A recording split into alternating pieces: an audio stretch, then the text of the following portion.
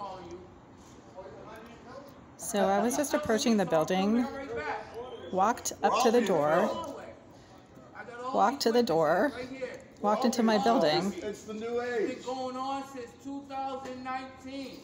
She's been bothering me. I'm not sure why this guy is shouting at me. I have no idea who he is.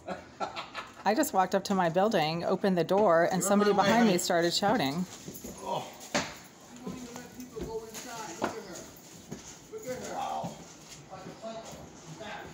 Hmm. So this is an individual who I believe has an anti-harassment order against me. I have an anti-harassment order against him.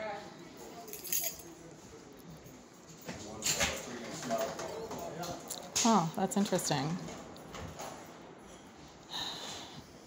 Yeah, time to call the court. I have an anti-harassment order against this person, and he started shouting at me as I walked up to this door and opened it with my key. And he crossed the street towards me.